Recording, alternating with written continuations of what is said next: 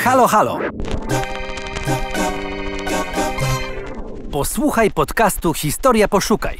Wybieramy najciekawsze tematy, tropimy losy niezwykłych bohaterów i bohaterek, sięgamy po fascynujące źródła historyczne. To co, gotowi? Przejdźmy więc do historii. Była zdolna, ambitna i pracowita, ale jako kobieta nie mogła studiować. Kazimiera Bujwidowa przez całe życie walczyła, by jej córki otrzymały taką szansę. Dzięki jej staraniom w mury Uniwersytetu Jagiellońskiego wkroczyły pierwsze studentki. Urodzona w 1867 roku Kazimiera Klimontowicz rozpoczyna edukację na warszawskiej pensji. Ma 9 lat. Dodatkowych lekcji udziela jej student medycyny, Odo Bujwit. Spędzane razem godziny, wspólna nauka i wymiana poglądów zbliżają ich do siebie. Para bierze ślub w 1886 roku, po ponad 10 latach znajomości.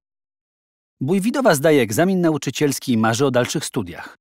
Niestety, kobiety nie mają wstępu na uniwersytet. Polki kształcą się czasem za granicą.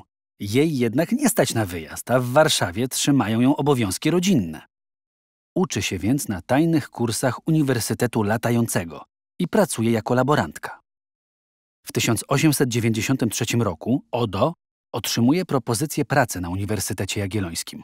Rodzina przynosi się do Krakowa. Tam spotyka się z bardzo chłodnym powitaniem. Nowoczesne poglądy bójwidów nie podobają się w konserwatywnej Galicji. Ponadto kontakty bójwidów ze środowiskiem socjalistycznym i feministycznym też nie przysparzają im popularności wśród mieszczaństwa. Kazimiera wkrótce zostaje liderką ruchu emancypacyjnego w Krakowie. W ustawach uniwersyteckich znajduje zapis, zgodnie z którym kobiety teoretycznie mogą uczestniczyć w zajęciach jako słuchaczki, czyli hospitantki. W 1894 roku Kazimiera wygłasza przemowę na ten temat na Kongresie Pedagogów Polskich w Lwowie.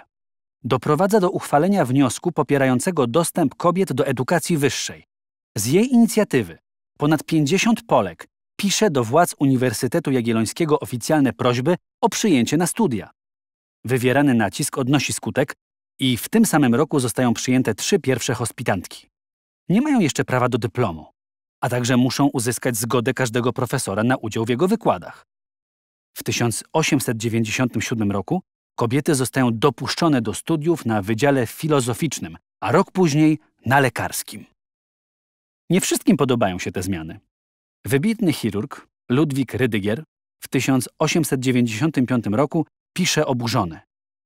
Biorąc rzecz zasadniczo, to równouprawnienie kobiet z mężczyznami jest nonsensem, bo się sprzeciwia odwiecznym prawom natury. Precz więc z Polski z dziwolągiem kobiety lekarza. Do rozpoczęcia studiów potrzebna jest jednak matura. I tu pojawia się drugi problem. Żeńskie szkoły do niej nie przygotowują. Bójwidowie doprowadzają w 1896 roku do utworzenia gimnazjum dla dziewcząt, którego program nauczania nie różni się od męskiego. Gdy cztery lata później 21 uczennic zda egzamin maturalny, nawet najwięksi sceptycy zostaną przekonani. W Krakowie i Lwowie zaczną powstawać kolejne gimnazja żeńskie. Córki bójwidów mogą w pełni skorzystać z praw, o które walczyła ich matka. Jak myślisz, jakie obrały ścieżki? I czy profesor Rydygier podał rękę kobiecie lekarce? Na te pytania odpowiedzi znajdziesz na portalu Historia Poszukaj w artykule Karoliny Dzimiry Zarzyckiej pod tytułem Rewolucja Kazimiery Bójwidowej. Pierwsze krakowskie maturzystki i studentki na przełomie XIX i XX wieku. Historia. Poszukaj.